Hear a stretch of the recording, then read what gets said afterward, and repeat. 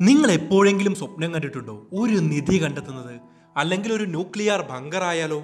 കുറഞ്ഞ പക്ഷം ഒരു പുരാതന ഫോസിലെങ്കിലും ചിലപ്പോൾ നമുക്കും ഇത്തരത്തിലുള്ള പലതും കണ്ടെത്താൻ സാധിച്ചേക്കാം. ഇത്തരത്തിൽ അസാധാരണമാം വിധം നടത്തിയ ഏഴ് അപൂർവ കണ്ടെത്തലുകളെ കുറിച്ചാണ് ഇന്ന് ഈ വീഡിയോയിലൂടെ നമ്മൾ കാണാൻ പോകുന്നത്. Number seven nuclear bunker.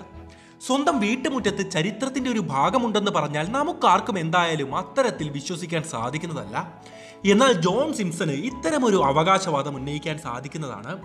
രണ്ടായിരത്തി പതിനഞ്ചിൽ അരിസോണിയയിലെ ഒരു സുഹൃത്തിൽ നിന്നും വീട് വാങ്ങിയപ്പോൾ അപ്രതീക്ഷിത ബോണസായി ഇദ്ദേഹത്തിന് ലഭിച്ചത് ഒരു ന്യൂക്ലിയർ ബങ്കറായിരുന്നു. ആയിരത്തി തൊള്ളായിരത്തി അറുപത്തി ഒന്ന് ശീതയുദ്ധ കാലഘട്ടത്തിൽ വിറ്റേക്കർ പൂൾസ് എന്ന കമ്പനിയായിരുന്നു ഈ സ്ഥലത്ത് ഒരു ബങ്കർ നിർമ്മിച്ചിരുന്നത്. ഈ കാര്യത്തെക്കുറിച്ച് മുൻ ഉടമസ്ഥൻ സിംസണ് ഒരു സൂചന നൽകിയിരുന്നു. എന്നാൽ അൻപത്തിനാല് വർഷങ്ങൾക്ക് ശേഷം ഇന്നും ഇത് നിലനിൽക്കുന്നുണ്ടോ എന്ന കാര്യം ഒരു സംശയം തന്നെയായിരുന്നു. പക്ഷേ അവരുടെ പ്രതീക്ഷകളെല്ലാം തെറ്റിച്ചുകൊണ്ട് മെറ്റൽ ഡിറ്റക്ടർ ഉപയോഗിച്ച് ഇദ്ദേഹം നടത്തിയ ഒരു തിരച്ചിലിൽ മൂന്നടി താഴ്ചയിൽ തന്നെ ഇത്തരത്തിലുള്ള ഒരു ബങ്കർ ഇദ്ദേഹത്തിന് കാണുവാൻ സാധിച്ചു. ആളണക്കമില്ലാതെ അരനൂറ്റാണ്ടോളം ഇരുന്നതിനാൽ തന്നെ ഒരു ദിവസം സമയമെടുത്തതിന് ശേഷം പ്രത്യേകമായ നിരീക്ഷണ പരീക്ഷണങ്ങൾക്ക് ശേഷമായിരുന്നു ഇദ്ദേഹം ഈ ബങ്കറിന്റെ അകത്തേക്ക് പ്രവേശിച്ചത്.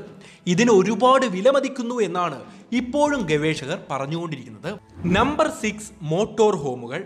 ലോകാവസാനത്തിനായി ഇപ്പോഴേ തയ്യാറെടുക്കുന്ന ചില മണ്ടന്മാരെ കുറിച്ച് നിങ്ങളൊന്ന് ആലോചിച്ച് നോക്കൂ. വളരെ രസകരമായിരിക്കുന്നു അല്ലേ? അത്തരത്തിലുള്ള ഒരു വ്യക്തിയാണ് ഫ്ലോറിഡയിലെ റോബോട്ടോ ഗോൺസാലസ്. ഒരു ഇംഗ്ലീഷ് സിനിമയിലെ കഥാപാത്രമാവാനുള്ള എല്ലാ യോഗ്യതയും ഇദ്ദേഹത്തിനുണ്ട്. ഗോൺസാലസിന്റെ അയൽക്കാരി അവരുടെ വീട്ടുമുറ്റത്ത് ജോലി ചെയ്യുന്നതിന്റെ ഇടയ്ക്കാണ് ഗോൺസാലസ് തന്റെ വീട്ടുവളപ്പിൽ ബുൾഡോസർ ഉപയോഗിച്ച് എന്തോ കുഴിക്കുന്നത് ഇദ്ദേഹത്തിന്റെ ശ്രദ്ധയിൽപ്പെട്ടത്. എന്താണെന്ന് അന്വേഷിച്ചപ്പോൾ കുളം നിർമ്മിക്കുകയായിരുന്നു എന്നാണ് ഗോൺസാലസ് ആദ്യം മറുപടി പറഞ്ഞത്. കുളം കാരണം വെള്ളപ്പൊക്കം ഉണ്ടാവുമെന്ന് ഭയന്ന അയൽക്കാരി ഉടൻ തന്നെ പോലീസിനെ വിവരമറിയിച്ചു. പോലീസ് വന്ന് അന്വേഷിച്ചപ്പോൾ അവിടെ ഒരു മോട്ടോർ ഹോം കണ്ടെത്തി. സംശയം തോന്നിയ പോലീസ് കൂടുതൽ കുഴിച്ചു നോക്കിയ സമയത്ത് അവിടെ മറ്റു മോട്ടോർ ഹോമുകൾ കൂടെ കണ്ടെത്തുകയുണ്ടായി. അങ്ങനെ ഗോൺസാലസിനെ കുറച്ചധികം സമയം ചോദ്യം ചെയ്തപ്പോഴാണ് പോലീസിന് ആ ഞെട്ടിക്കുന്ന കാര്യം വെളിവായത്. അതായത് ലോകാവസാനത്തിന് വേണ്ടി ഇദ്ദേഹം തയ്യാറെടുക്കുകയായിരുന്നു അത്രേ. ഇനി നമുക്ക് അടുത്തത് നോക്കാം. Number five. ലണ്ടനിലെ എൺപത് വർഷം പഴക്കമുള്ള ബോംബ്. യുദ്ധങ്ങൾക്ക് ശേഷവും പൊട്ടിത്തെറിക്കാത്ത ബോംബുകൾ ലോകത്തിന്റെ പല ഭാഗത്തും ഇന്നും ഭീഷണിയായി നിലനിൽക്കുന്നു. നിർഭാഗ്യവച്ചാൽ അവയിൽ പലതും ഇന്ന് കണ്ടെത്താൻ സാധിച്ചിട്ടില്ല.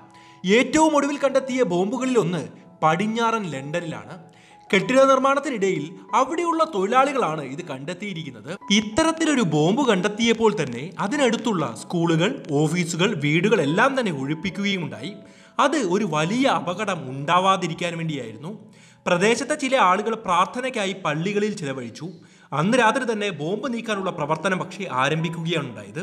ഇത് മണിക്കൂറുകളോളം നീണ്ടുനിന്നു ഭാഗ്യവച്ചാൽ ഇരുന്നൂറ്റി ഇരുപത്തി അഞ്ച് കിലോഗ്രാം ഭാരമുള്ള ആ ബോംബ് ആർക്കും പരിക്കേൽപ്പിക്കുവാതെ നീക്കം ചെയ്യുവാൻ ഗവൺമെന്റിന് സാധിച്ചു. ആയിരത്തി തൊള്ളായിരത്തി നാൽപ്പതിനും ആയിരത്തി തൊള്ളായിരത്തി നാൽപ്പത്തി ഒന്നിനും ഇടയിലായിരുന്നു ഈ ബോംബ് ഇവിടെ പതിച്ചത് എന്നാണ് പറയപ്പെടുന്നത്. ചളിയിൽ പൊതിഞ്ഞ നിലയിൽ കണ്ടെത്തിയ ഈ ബോംബിന് ഏകദേശം എൺപത് വർഷത്തിലധികം പഴക്കമുണ്ട്.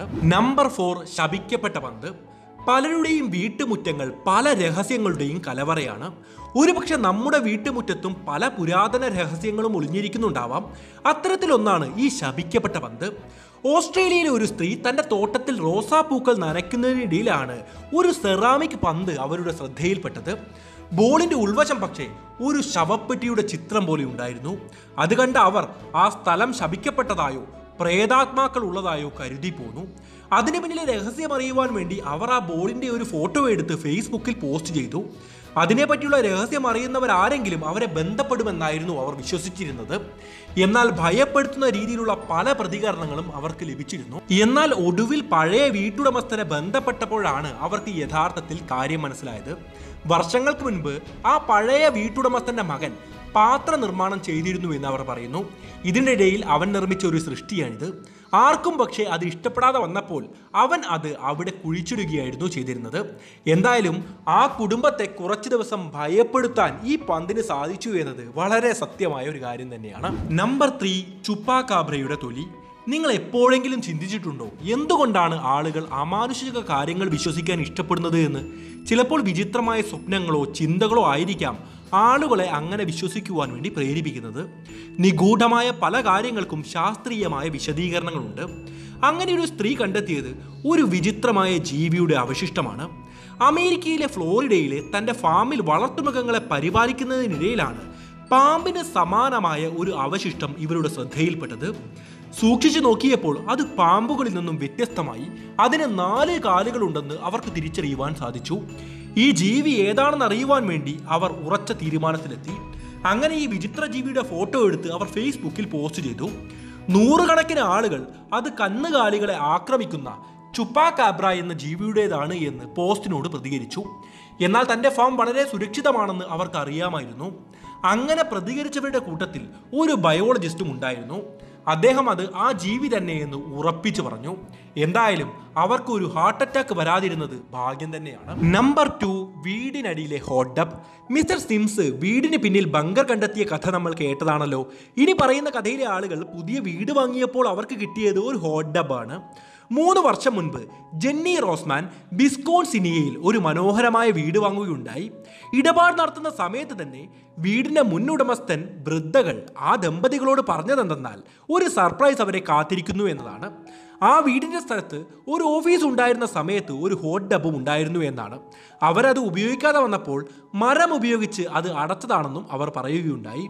ഉടൻ തന്നെ ഭർത്താവ് മാർക്ക് റോസ്മാൻ തന്റെ ഉപകരണങ്ങൾ ഉപയോഗിച്ച് ഹോട്ട് ഡബ് പുനർനിർമ്മിക്കാനുള്ള പ്രവർത്തനം ആരംഭിച്ചു. ആദ്യപടിയായി അവർ തറ ഉയർത്തി പിന്നീട് ഹോട്ട് ഡബ് മൂടിയ വുഡൻ കവറിൽ ദ്വാരമുണ്ടാക്കി എന്നിട്ട് അത് നീക്കം ചെയ്യുവാൻ ആരംഭിച്ചു.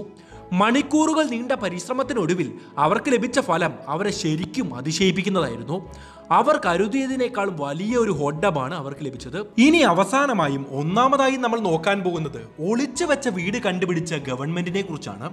അതായത് നഗരമധ്യത്തിൽ ഒരു വീട് ഒളിച്ചുകൊണ്ട് നിർമ്മിക്കുക എന്ന് പറഞ്ഞാൽ വളരെ രസകരമായ ഒരു കാര്യം തന്നെയായിരിക്കും. നമ്പർ വൺ ഒളിച്ചു വെച്ച വീട്. സ്വന്തമായി ഒരു വീട് നിർമ്മിച്ച് പിന്നീട് അത് പൊളിച്ചു കളയേണ്ടി വന്നാലുള്ള അവസ്ഥ നിങ്ങൾ തന്നെ ഒന്ന് ആലോചിച്ച് നോക്കൂ. വളരെ ദുഃഖമായിരിക്കും അല്ലേ എന്നാൽ അങ്ങനെ ചെയ്യേണ്ടി വന്ന ഒരു കർഷകനാണ് കാനഡക്കാരനായ റോബർട്ട്. റോബർട്ടിന് കോട്ട രൂപത്തിലുള്ള ഒരു വലിയ വീട് പണിയുവാനായിരുന്നു ആഗ്രഹം. എന്നാൽ അങ്ങനെ ഒരു വീട് പണിയുന്നതിനുള്ള അനുമതി ഗവൺമെന്റിൽ നിന്ന് ലഭിക്കില്ല എന്നറിഞ്ഞപ്പോൾ രഹസ്യമായി ഒരു വീട് നിർമ്മിക്കുവാൻ വേണ്ടി ഇദ്ദേഹം തീരുമാനിച്ചു. ഇദ്ദേഹത്തിന്റെ ഫാമിൽ തന്നെ വളരെ രഹസ്യമായി ഇദ്ദേഹം വീടിന്റെ പണി ആരംഭിച്ചു.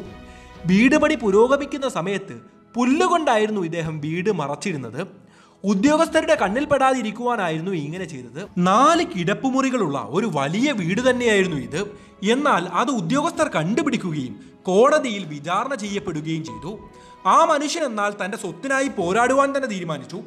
താൻ ഒരു നിയമവും ലംഘിച്ചിട്ടില്ല എന്ന് ആവർത്തിച്ച് ഇദ്ദേഹം പറഞ്ഞിട്ടുണ്ട് എങ്കിലും നീണ്ട പത്തു വർഷത്തെ കോടതി വിചാരണയ്ക്കൊടുവിൽ കോടതി ആ വീട് പൊളിച്ചു കളയുവാൻ വേണ്ടി ഉത്തരവിട്ടു. നിങ്ങൾ ഉണ്ടാക്കിയ വീട് നിങ്ങളുടെ കൈകൊണ്ട് തന്നെ നശിപ്പിച്ചു കളയേണ്ടി വരുന്ന അവസ്ഥയെക്കുറിച്ച് നിങ്ങളൊന്ന് ആലോചിച്ച് നോക്കൂ. എത്ര ദുഃഖകരമായിരിക്കുമല്ലേ? എന്നാൽ ഈ കാര്യം തന്നെ സംഭവിച്ചു. നിരവധി വർഷങ്ങളെടുത്ത് നിർമ്മിച്ച ആ വലിയ ആഡംബര വീട് അദ്ദേഹം സ്വന്തം കൈകൊണ്ട് തന്നെ പൊളിച്ചു കളഞ്ഞു. ഇപ്പോൾ ഒരു വലിയൊരു ആഡംബര പാത മാത്രമാണ് ആ വീട്ടിലേക്കുള്ളത്. അതായത് ആ വീടിപ്പോൾ ആ സ്ഥലത്ത് നിലവിലില്ല. എന്തായാലും ഇന്ന് കണ്ട രസകരമായ ഏഴ് കണ്ടെത്തലുകളെ കുറിച്ചുള്ള വീഡിയോസിൽ നിങ്ങൾക്ക് ഏറ്റവും ഇഷ്ടപ്പെട്ടത് ഏതാണെന്ന് കമന്റായി രേഖപ്പെടുത്തുക. ഈ വീഡിയോ ഇഷ്ടപ്പെട്ടെങ്കിൽ ലൈക്ക് ചെയ്യുക കൂട്ടുകാർക്കായി ഷെയർ ചെയ്ത് നൽകുക. മറ്റൊരു രസകരമായ വീഡിയോയുമായി വീണ്ടും കണ്ടുമുട്ടാമെന്ന പ്രതീക്ഷയോടെ നന്ദി നമസ്കാരം.